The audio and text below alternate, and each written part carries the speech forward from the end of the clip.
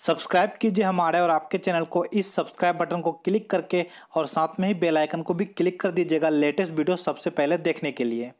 तो hey guys, कैसे हैं आप सब? आज के इस वीडियो में मैं आप लोगों को बताने वाला हूँ सैमसंग गैलेक्सी A30s और सैमसंग गैलेक्सी A50 के बारे में। तो क्या आप लोगों को सत्रह हज़ार रुपीज़ दे के Samsung Galaxy A thirty S buy करना चाहिए? या फिर साढ़े अठारह हज़ार रुपीज़ दे के Samsung Galaxy A fifty buy करना चाहिए? क्योंकि दोनों स्मार्टफ़ोन में सिर्फ़ डेढ़ हज़ार का यहाँ पर आपको प्राइस डिफरेंस देखने को मिल जाएगा। तो क्या कम रुपया देना Samsung Galaxy A thirty S के लिए बेहतर होगा? या फिर डेढ़ हज़ार रुपीज़ एक्स्ट्रा देना सैमसंग गलेक्सी ए फिफ्टी के लिए यहाँ पर बेहतर होगा? हालाँकि सिर्फ़ दोनों फ़ोन में सिर्फ़ कैमरा और डिस्प्ले में मतलब चेंजेस किया गया है और बाकी आपको सेम ही यहाँ पर देखने को मिल जाता है। हाँ चिपसेट में आपको थोड़ा इंप्रूवमेंट मिलेगा सैमसंग के ए में।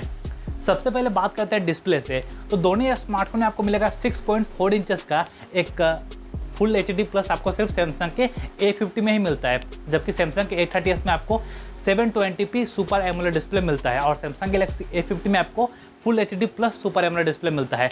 तो नो डाउट जो सैमसंग गैलेक्सी ए फिफ्टी है इसका डिस्प्ले ज़्यादा बेहतर है। उसमें आपको काफ़ी अच्छे कलर कॉन्ट्रास्ट डीप में देखने को मिलेगा, जबकि सैमसंग गलेक्सी ए थर्टी में आपको कलर तो काफ़ी अच्छा मिलेगा, लेकिन वो रेजोल्यूशन है, वो सेवन ट्वेंटी है। तो आप लोगों को बताने की ज़रूरत नहीं कि जो सेवन ट्वेंटी है, वो कैसा परफॉर्म करता है और टेन एटी के आगे। तो no doubt Samsung Galaxy A fifty का जो डिस्प्ले है, वो ज़्यादा बेहतर है Samsung Galaxy A thirty S से। अब बात करते हैं चिपसेट से कि कौन सा फ़ोन का चिपसेट ज़्यादा बेहतर है और कौन सा फ़ोन में आपको काफ़ी अच्छा यहाँ पर गेमिंग एक्सपीरियंस मिलेगा। तो सैमसंग गैलेक्सी ए थर्टी में आपको मिलता है एक्जोनस का सेवन नाइन ज़ीरो फोर का चिपसेट जो चिपसेट आप लोगों ने देखा था सैमसंग के एम ट्वेंटी एम थर्टी और सैमसंग के ए थर्टी में। तो इन तीनों स्मार्टफ़ोन में सैमसंग ने एक ही चिपसेट इस्तेमाल किया। उसके बाद Samsung Galaxy A thirty S को भी यही चिपसेट के साथ उन्होंने लॉन्च किया, जो कि एक्जोनस का सेवन नाइन ज़ीरो फोर का चिपसेट और सैमसंग गलेक्सी ए फिफ्टी में आप लोगों को मिलता है एक्जोनस का नाइन सिक्स वन ज़ीरो का चिपसेट जो कि मेरे ख्याल से काफ़ी बढ़िया चिपसेट है। गेमिंग के लिए काफ़ी मस्त चलता है। आप लोगों को कोई भी दिक्कत नहीं आएगा। तो नो डाउट जो चिपसेट है वो सैमसंग गलेक्सी ए फिफ्टी का ज़्यादा बेहतर है। हालाँकि कैमरा का जो स्पेस है, दोनों फ़ोन का सेम है। बैक साइड में ट्रिपल कैमरा का सेटअप मिलता है, चौबीस मेगापिक्सल प्लस आठ मेगापिक्सल प्लस पाँच मेगापिक्सल का। तो कैमरा के डिपार्टमेंट में आप लोगों को कोई भी चेंजेस यहाँ पर देखने को नहीं मिलेगा। लेकिन अगर आप फ़ोटो लेंगे, उसको अगर आप टेन एटी पे डिस्प्ले में देखेंगे तो वो ज़्यादा बढ़िया लगेगा देखने में।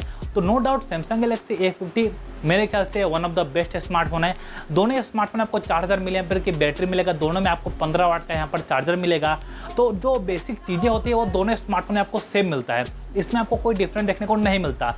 तो इसलिए बोल रहा हूँ कि डेढ़ हज़ार रुपये अगर आप लोग एक्स्ट्रा देंगे तो आपको सेवन ट्वेंटी पी डिस्प्ले से छोड़ के आपको टेन एटी पी डिस्प्ले मिलेगा।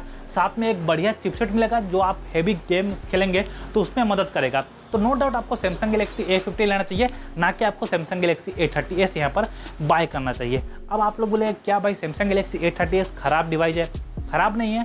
ओवर प्राइस डिवाइस है। क्योंकि सत्रह हज़ार में आज के टाइम में कौन लेगा? भाई, आप एक बार सोच के देख लिए, देख लीजिए। लेकिन सैमसंग गलेक्सी ए फिफ्टी मेरे ख्याल से काफ़ी बढ़िया डील है।